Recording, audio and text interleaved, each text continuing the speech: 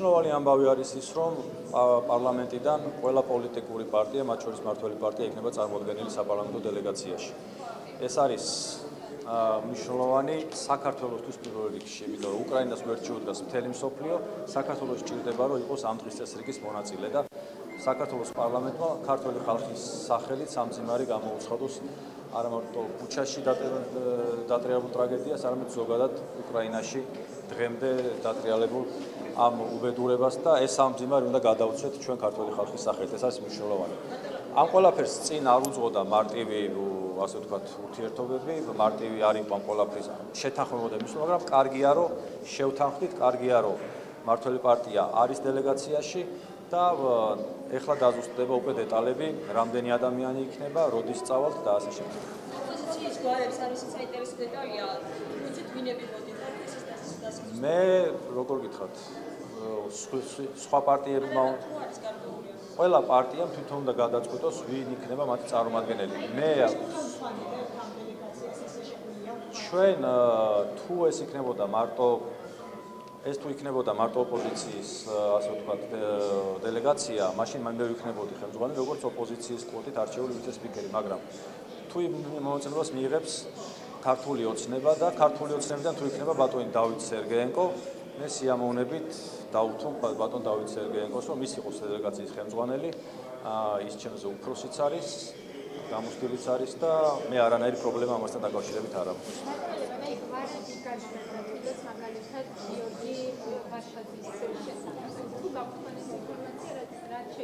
მე სხვა პარტიების მაგივრად არ მინდა ვთქვა, მაგრამ ის ადამიანები, ვინც ამ კონსულტაციებში არიან ჩართულები, ბუნებრივი ალბათ ისინი იქნებიან, ვინც წამოვლენ დელეგაციაში. ხო.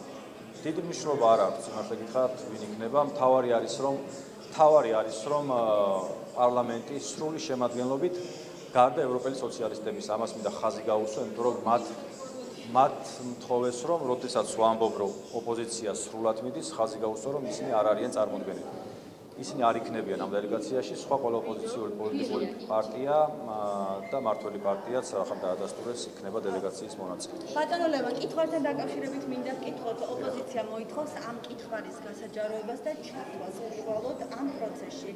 თქვენ როგორ ფიქრობთ, რა როგორ წარმოგიდგენიათ ოპოზიციის მონაწილეობა ამ კითხვის შემუშავების პროცესში და არის თუ არა ეს ის დრო, როდესაც პოლიტიკური ინტერესები უნდა გადადოს ყველა პარტიამ გვერდზე და ქვეყნის ინტერესებისთვის ერთობლივი საქმე გააკეთოს?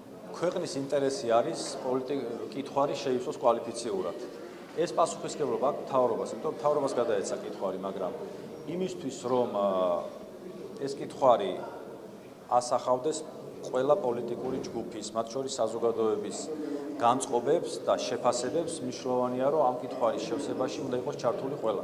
მათ შორის ოპოზიციური პარტიები, მათ შორის სამოქალაქო საზოგადოება, ეს უნდა იყოს ინკლუზიური პროცესი, იმიტომ რომ ყველას ინტერესი არის, რომ დაჩქარებული წესით საქართველოს მიიღოს კანდიდატის სტატუსი. ჩვენ ნახეთ, რომ გადმოგეგზავნა დაახლოებით 400 400 კითხვიანი კითხვარი, რაც ნიშნავს იმას, რომ ეს არის 10 ჯერ ნაკლები.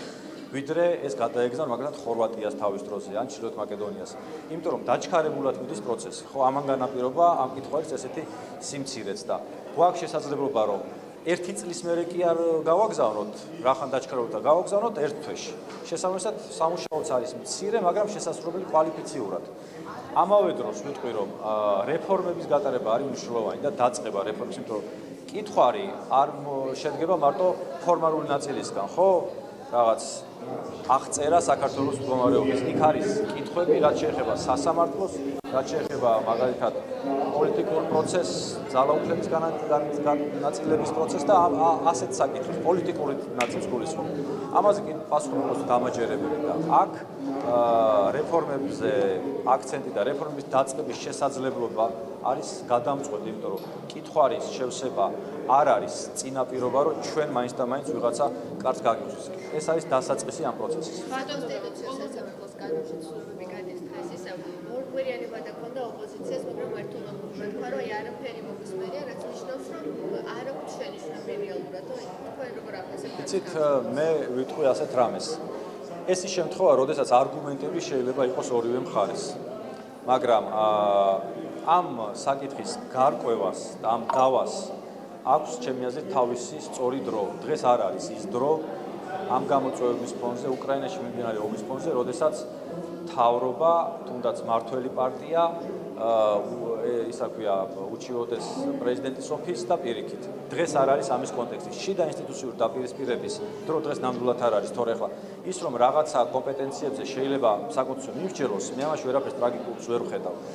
თუმცა ყველაფერს თავისი ხელსაყრელი დროს ჯობია გამოენახოს და ამიტომ თავიდანვე წინამდე ვიყავი დღეს ამ საკითხს განხილავს. ბატონო, დებატებს როგორ ახასიათებს უკრაინის თავისუფლების მიმართულებით სამი ქართული კრიტიკამატებს კრიმინალიტეტი და და ამის შემდეგ რამდენად სწორია და რამდენად მომგებიანია ეს პროცესი საქართველოსთვის პირველ რიგში ცით რა არის ქართულოცნებას აქვს თავისი ძალიან სპეციფიური დამოკიდებულება ამ ამბის მიმართ.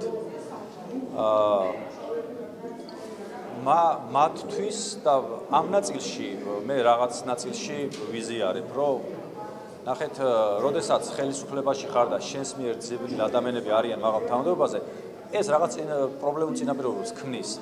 მაგრამ აქ დაუბრუნდები იმ ნაწილს, სადაც ამ ამ ყველაფრის თქმის დროსა და კონტექსტს აქვს მნიშვნელობა, ხო? ახლა დღეს უკრაინას თუნდაც რაღაც თუნდაც შენი გადმოსახედიდან სამართლიანი პრეტენზია წაუგენო ამ ვითარებაში. მე არ მიმაჩნია გამართლებულად. თორე ისე ომი რო არ იყოს უკრაინაში და ყველაფერი იყოს დაწყნარებულად, ხო, ახლა ქვეყანაში ძებნილი ადამიანების დანიშნა რაღაც უხერხულობას იწვევს ქვეყნებს შორის ურთიერთობებს, ეს ბუნებრივია. ახლა ამაზე რო თქვა, რომ ეს ასე არა, არ არ ვიქნები არც უცხოელი და არც მართალი.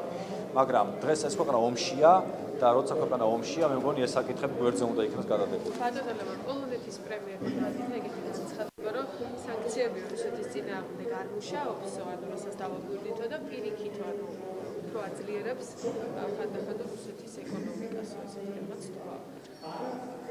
ანუ პუტინს ვერ აჩერებს სანქციები, რომელსაც უწესებს. როგორ? თქვენგან მოვისმინე ახლა და ეს გუში გააკეთეს. არ არ არ როგორ შეაფასებთ? ვერ შევაფასებ პოტიში, იმიტომ რომ არ ვიცი. ბუჩაში ჩავალთ კიევში ეს არის. აა კიევში ჩავალთ, ბუჩაში ჩასვლა სჭირდება სამხედროების ესკორტირება. თუ ეს შესაძლებელი იქნება, უსაფრთხო ჩვენზე არ არის დამოკიდებული.